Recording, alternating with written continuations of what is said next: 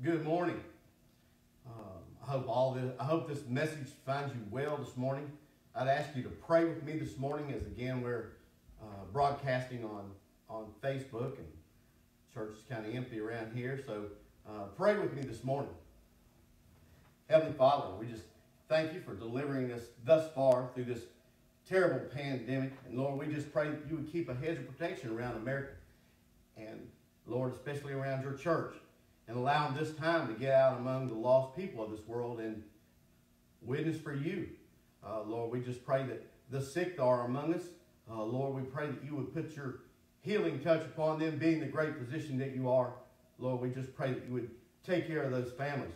And Lord, just give them that grace they need and the special touch that they need to survive this time. Lord, we pray that uh, anyone in the sound of our voice hears this message, if they don't know you as their personal Savior, Lord, I pray today that you would touch that heart and uh, let them know that you are the Lord of the Lord and King of Kings. All these things we pray in Jesus' name. Amen. And good morning again. We're in the book of Galatians. Uh, we're going to be looking at the eighth, uh, fourth chapter, eighth verse through the 18th verse this morning. So if you if you're there with me and you're following along with your Bibles, which I pray you are, verse 8, chapter 4. Howbeit then, when ye knew not God, ye did service unto them which by nature are no gods. But now, after that, ye have known God, or rather are known of God, how turn ye again to the weak and beggarly elements, whereunto ye desire again to be in bondage? Ye observe days and months and times and years. I am afraid of you, lest I have bestowed upon you labor in vain. Brethren, I beseech you, be as I am, for I am as ye are. Ye have not injured me at all.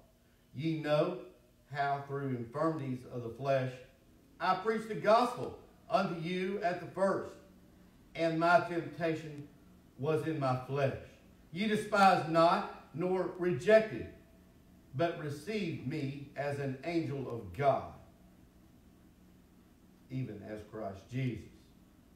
There is then the blessedness ye spoke of. For I bear you record that if it had been possible, ye would have plucked out your own eyes and have given them to me. Am I therefore become your enemy? Because I tell you the truth. They zealously affect you, but not well. Yea, they would exclude you that you might affect them. Be it is good to be zealous. Affect always in a good thing, but not only when I am present with you. Wow. Well, we have, let me give you a little bit of a backdrop if you're just joining us uh, this morning. Paul is doing battle with the Judaizers.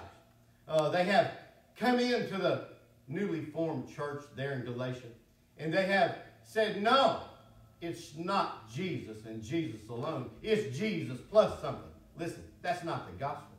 That is not the gospel. If anyone says that to you, uh, yeah, run. Uh, do not be there. Uh, if, if, it's Jesus plus anything, that's wrong. Uh, Paul went on in, in, in chapter 1 and he said, Let them be accursed, let them be damned if they preach any other gospel than Jesus Christ. Him crucified alone for your sins. That's it. It's not Jesus plus the law. It's not Jesus plus anything. It's just Jesus. He's the only one worthy.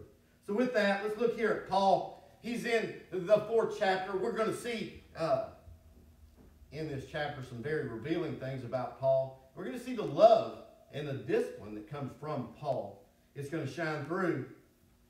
So there in verse 8, we're going to see, uh, Howbeit then, when ye knew not God, ye did service unto them which by nature are no gods. Well, what's he talking about there?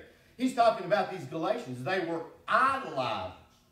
They uh, practiced idolatry. Well, Brother Mark, what is idolatry? I can it for you pretty simple. It's anything or anyone or any place that you put in place of God Almighty. It is just that simple. It's not hard to understand. If you're putting washing your car before worshiping God this morning, that is an idol. If your house is before worshiping God, that is an idol. If your wife, listen to me, or your husband, you put them before worshiping God, guess what? That's an idol. Uh, God has said, "You shall have no other no other gods before me." Look, if anything else to you is a god, there's a problem. Uh, get that right in your mind. God is first. He is jealous. He will not be second. And uh, all glory should go to him. Justly. But these Galatians, uh, back to the scripture here, these Galatians were, they worshiped idols, okay? It was their downfall from the first. Well, the Judaizers, they picked up on these idol worshippers and they saw their weakness immediately. And they said, well, hey, we'll just get them back to the Mosaic system. We'll sell them Jesus plus the law. Okay, again, when you hear Jesus plus anything, my Savior is an all sufficient Savior. He doesn't need anything else. When He paid for your sins on the cross, when He said it is finished and hung His head, He meant it was finished. You don't need anything else but Christ to go to heaven. Well, these Judaizers, they were saying, hey, Jesus is a great, and truly He is. But you need Jesus plus the Mosaic law. No. Okay, that's legalism. That's the definition of legalism. Okay, the Judaizers were making the law into the Galatian idol. So you see where he's at here. But now, after that ye have known God, or rather are known of God, how turn ye to the weak and beggarly elements whereunto ye desire again to be in bondage? Listen. This, this law, uh, the Mosaic law, the Ten Commandments, uh, look, they're a perfect reflection of God's moral character. Uh, they're absolutely flawless. They're who a glimpse of who God is. Uh, so if you think as a fallen man you can keep that, uh, they couldn't. If a Jew couldn't, and look, if a Pharisee, uh, now they tithed on their herbs. Really? I'm telling you, they tithed on their herbs. If a Jew could not keep the Ten Commandments, how in the world do you think a Gentile such as you and I are going to? Look, we cannot. It's been proved time and time again they could not. We're fallen. We have sin blistered souls. We are fallen men. You cannot keep the law. That's why Christ had to come. That's how why Christ had to die for your sins. Uh, it is the only way to bring you back to a right relationship with God. It is the only way. The law will not do it. It could never do it. The only thing the law can do is make you say, hey, I'm keeping this law outwardly. Let, let me give you an easy example.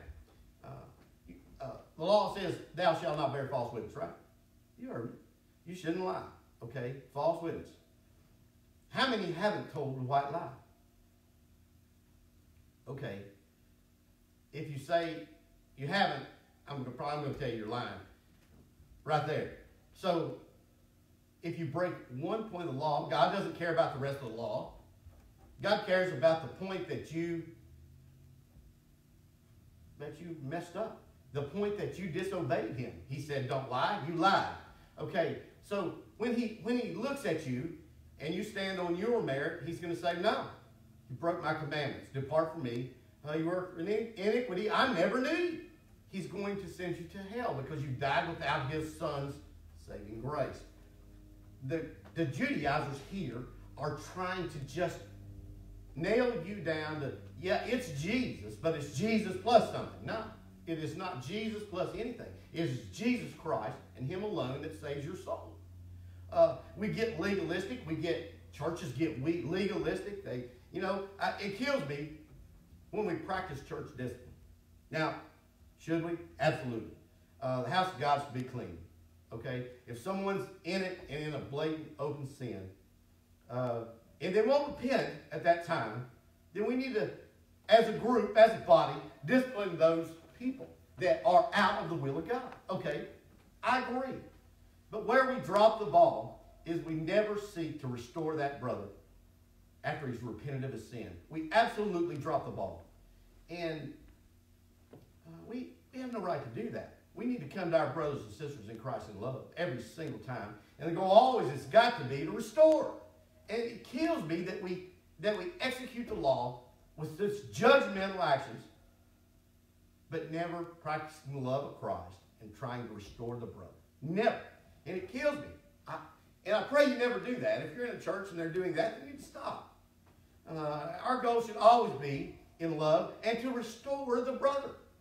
Uh, name me a Christian today that's not sinned probably today. I'd love to spend a day with them. We'll take the law and, and uh, we'll look over their lives. I'd love to. Hit, hit me a text. I'll, I'll, I'll come see you. But Paul's driving the point home here that we cannot live by the law. We can't live by a stringent law. It's not possible. It is possible for God. He's absolutely perfect. He is flawless. He wrote the law. He can live by it. He does live by it. And that's why he can justly uh, say, You turned your back on my son, depart from me. Uh, you're going to burn in hell forever. Uh, that's why he can justly do that. And we proved today that if you've ever told a white lie, you've broken his law, the Ten Commandments. You've broken it. So is he just and righteous in sending you to hell? Yes. You can't say, well, I didn't know. Well, yeah, you did know. Uh, even if you've never read the Ten Commandments, your conscience tells you, which he put in your mind, never to lie. You're not supposed to lie. You're not supposed to kill. You're not supposed to steal. So you can't say you don't know. Is God just in doing what he has to do? Absolutely. Uh, these uh, Galatians here, they're going back into idolatry. Uh, and you can put a law on it or a day on it or whatever you want to put on it, but it's Jesus plus something else. Okay? What did he say in chapter 1? Let them be accursed or damned if they preach any other gospel than the one Paul had shared with them. So they are. They're teaching another gospel. Verse 10 You observe days of the month, times of years, and the years. Look, they worship the moon. I mean, these people are all over the page. Uh, they worship everything uh, inanimate objects. Um, all these things they worship.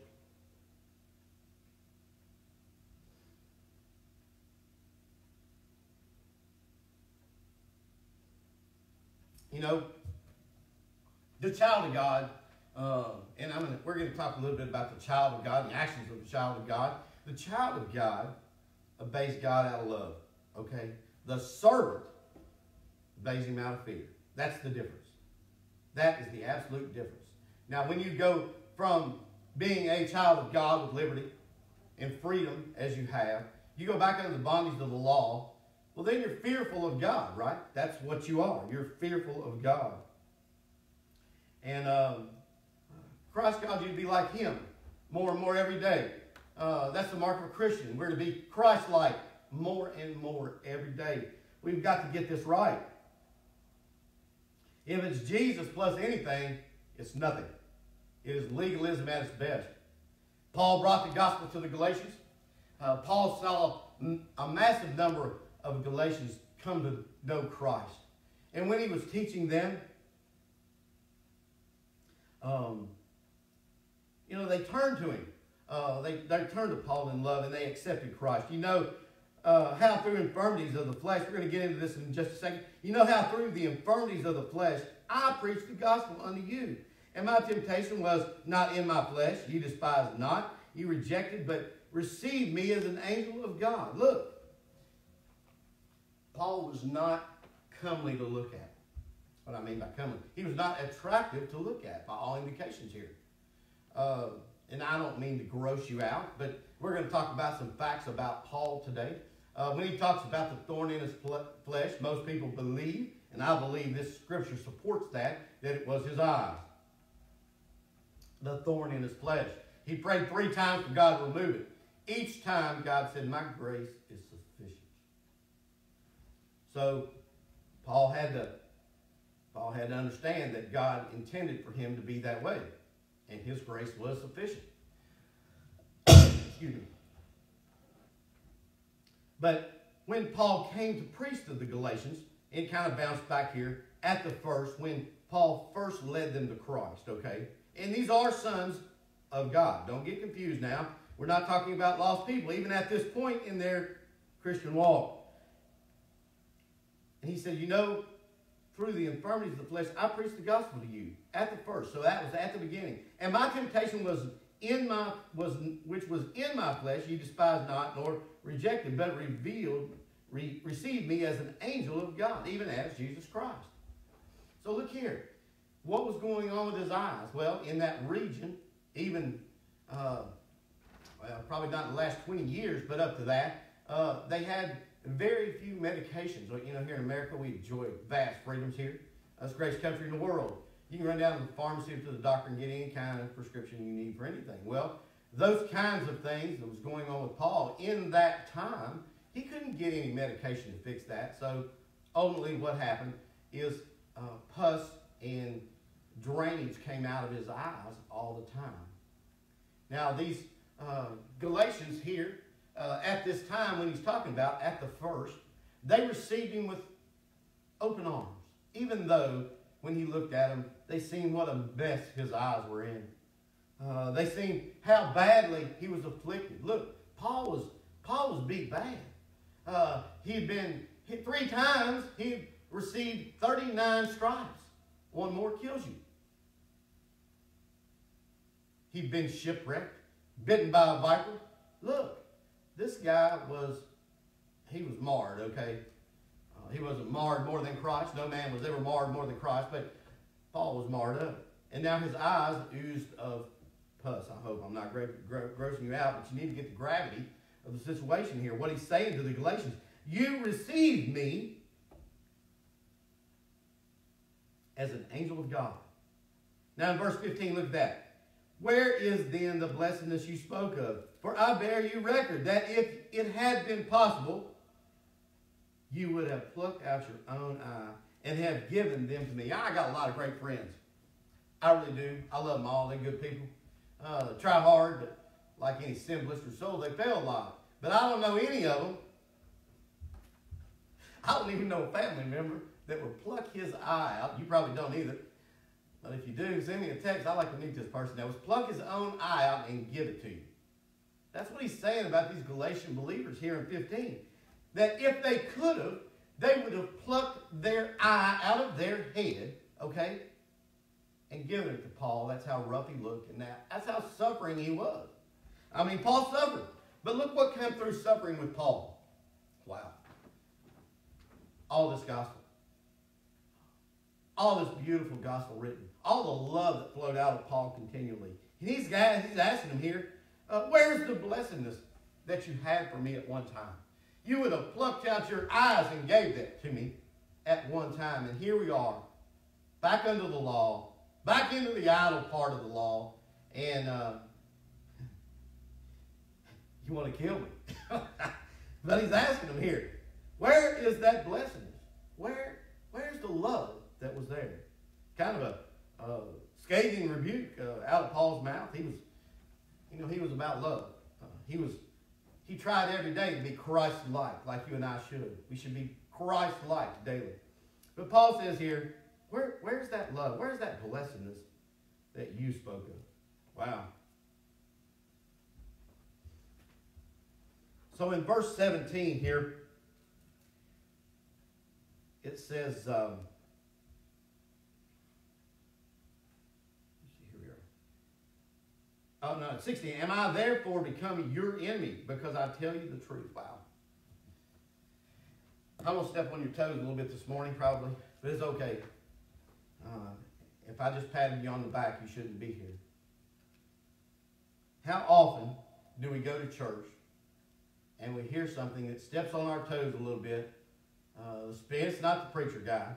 Uh, he's not singling you out, I don't think. If he is, he ought to repent. But uh, when he preaches the word of God, it convicts you, and you want to take him out behind the building and stone him. How often is that? How often do we want to hold the messenger responsible for the message? Look, God said it. If you don't like it, this is easy. Take it up with Jesus when you get to heaven. Okay? Uh, don't beat up on the guy bringing you the message. Uh, we're, we're just trying to get you the truth. And I, I hope you receive it as such. But Paul's saying here in 16, Am I therefore become your enemy because I tell you the truth? How so often in today's time do we make the pastor or someone that's trying to declare the word of God the enemy? Listen, if all I do is pat you on the back, you already go somewhere else. If I never step on your toes, I'm probably not doing my job.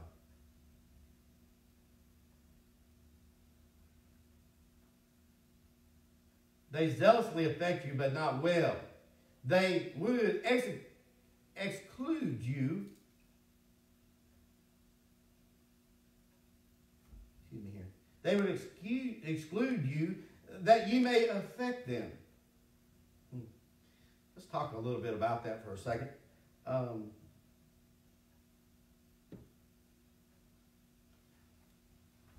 it, it's kind of a pain to understand there, but let me read you a let me read you a uh, a uh, translation here. They zealously seek you in no good way. Nay, they desire to shut you out, that ye may seek them. But it is good to be zealous, sought in a good manner at all times, and not only when I am present with you. Look, they did not want to lift Christ up. It was not Christ they were trying to lift up. It was not Christ that they were wanting to exalt. They wanted to get back to the Mosaic system where the Pharisees and the priests had all the high offices and people sought to see them instead of looking to, to Christ. Uh, that's what that verse is saying. That's exactly what it means. They want to run you away from Christ, the one that can keep you out of bondage, the one that has taken you and me out of bondage, and they want to put you back under the yoke of the law. Well, thank God, uh, most of us don't have to live that way unless we're terribly legalistic, and you still don't have to live that way. You know, you think back, and I know some of you are older. Uh, you can think back to when you first became a Christian. Do you remember how there was no guilt? Do you remember how you, you, you pondered in your mind, how can this be? How can I be, probably the chief of all sinners, forgiven of all the bad things I've ever done? How can that be? Jesus Christ. Uh, he paid for those bad things on the cross. Uh, he paid for me and he paid for you. Uh, he paid for those sins. he paid. He paid every bit of it. Uh, your guilt, your sin debt, had been paid for. Has been paid for. Is going to be paid for. Uh, Christian, do not be under the yoke of the law. You cannot stand it. We can't live that way. Uh, you live under grace. Uh, you, you, live under Jesus' grace, uh, the grace that uh, He paid for your sin, the grace that the law cannot send you to hell now. These Galatian believers, look here, they're not lost. Uh, Paul said he, that he might have spent time with them in vain. They're not lost. Uh, these believers need restored back to a right way of thinking but they are just as much a son of God. Look here. I have people tell me all the time, well, I'm backslidden. Okay. You've fallen into you've fallen into a sin, and apparently you've kept sinning for a while. Does that make you any less of a child of God? Absolutely not. It harms your standing with Him at the moment, but your state, as far as who you are in Christ, is exactly where it was. Uh, you cannot lose your salvation. I don't know whoever thought you could. Uh, but you cannot lose your salvation. God says He will not lose one of the hundred, not one of the 90 and 9. He won't lose it. I don't know what kind of reassurance you guys need, but that's good enough for me. Christ says it, I believe it. That's it. It doesn't, it doesn't require anything else. It doesn't even require, require me to believe it, but I'm telling you I do. Uh, look, you cannot live under the burden of the law. He paid that debt. It has been paid, it is being paid, and it will be paid on Jesus Christ's shoulders. Uh, we have got to get that straight. Please don't live that way. You remember back in that time when you got saved. You remember when you first got saved. You felt joy, right? Well, this backslid person doesn't feel that joy. Why? Well, he's out of fellowship with God. He's doing something continually, right? That he knows is wrong, and he's doing something continually that is a sin, whether that's adultery or uh, stealing. You name the sin, one of us around here could probably claim it. But uh, the point is, he's still a son of God, and there's nothing you and I or he can do about that. Now, I don't know when he's going to right his relationship. I pray it doesn't take him very long. Uh, God won't have his, God's not mocked. He won't have his name drawn through the mud. He'll call you home. Uh, now, if you view that as a warning, you probably should. Get your life straight. Uh, repent of the sin you're in. Give it to God and ask for help. But these Galatians, even though they were back worshiping the law again, and days and moons and and uh, look, even though they were still sons of God, they were still the children of God. They were still the children of the promise. Look, uh, we've been saved, and uh, if you think that God thinks that you're not going to stumble and fall in your walk, you're crazy. He knows you, He knows me, and He already knows when you're going to stumble and fall. Uh, we need to be careful to try not to, but when we do, we need to repent and ask God for forgiveness and help. These Judaizers, uh, they were after one simple thing. They wanted you to follow them.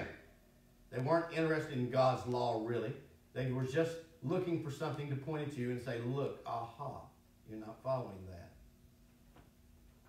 We've got to be careful to guard against that. Uh, now, should we give sin a place? No. When you've identified it as a sin in your life, it is your moral responsibility to God, not to me, uh, to get that straight. Uh, you're not to live in sin. You're to be Christ-like. Christ didn't have sin in his life. Uh, how do you know that, Brother Mark? Well, I'll tell you. He couldn't be your Savior if he did. That's how I know that. Uh, he absolutely was a sinless person. He lived 33 years without one sin, but yet died for yours and mine. Yeah, that's how I know that.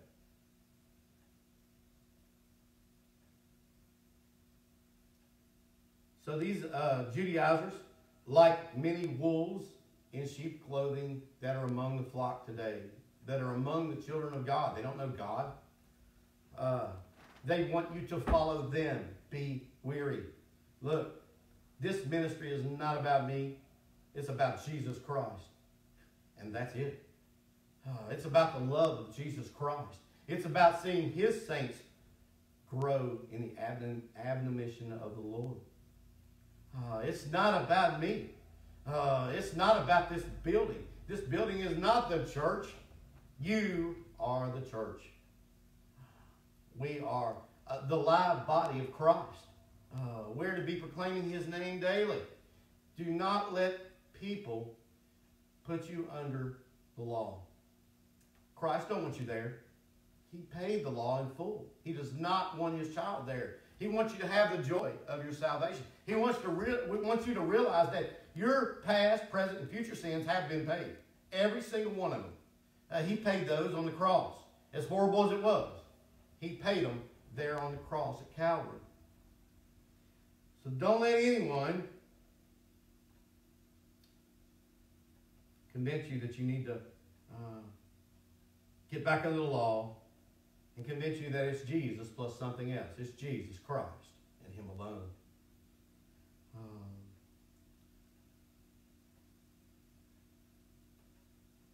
Paul's trying to drive back home to the Galatians here that, hey, it's not too late. Uh, your salvation is not gone. Christ didn't go anywhere. He's standing right there beside of you. You're in sin. You're separated from him a little bit, but he will never leave you. Stay sticks closer than a brother. Uh, he will never, ever leave you or depart from you. So uh, we need to understand that although we might backslide, we might get into a legalistic sin, repent, turn away from that sin, and go back. Uh, go back to uh, the joy of your salvation. Uh, we, we, we have to get that down as Christians today. Now, if y'all tuned in last week, we'll We'll go on from verse 18 next week, but if y'all tuned in last week, you heard me talk about Second Chronicles 7 14. Well, I don't think y'all got the message. I'm going to have to give it to you again today. So, uh, Second Chronicles 7 14. If my people, Christians, that's you, I'm not talking about the lost people around about us, which are called by my name, again, Christians, right? Shall humble themselves and pray. Well, Brother Mark, what are you talking about? Last week when we were together, I begged you to pray that our land would be healed. I, I begged you to repent and pray that our land would be healed. Well, apparently numbers are on the rise. so uh, we'll get on with this. I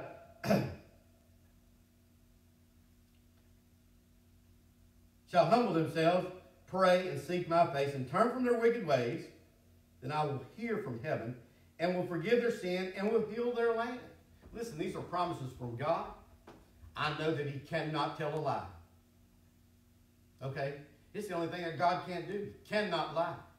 It's not in Him. Titus 1 2, if you don't believe me, don't take my word, but look in Titus 1 2. He cannot lie.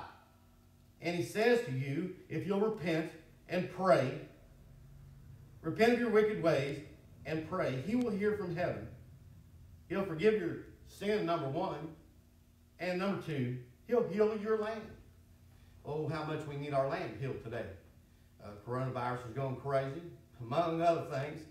Uh, but, uh, Christian, I begged y'all to pray last week. I'm going to beg you again. I'm begging you to pray.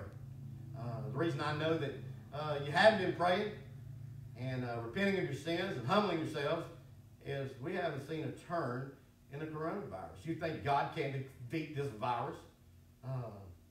look, He created the world in seven days. Don't tell me he can't. Don't tell me he's out of the miracle business. You're lying. Uh, you haven't repented. You haven't been praying. And he hasn't heard from heaven and healed your land. I'm begging you, please pray for this nation and the world that God will, and repent that God will heal the land. Y'all stand with me and uh, we'll pray. Heavenly Father, don't ever let us become complacent and be like these Galatians. Don't ever let us think that it takes Jesus plus something else. It's Jesus and Jesus alone. And thank you for him. Lord, we pray here today, First Baptist, we pray that, that you would heal our land. We pray that Christians everywhere are repenting and are in prayer to you to have the land healed. Lord, we pray for the sick. Lord, we pray that you would touch them as only the mighty Maker can and heal them. All these things we pray in Jesus' name.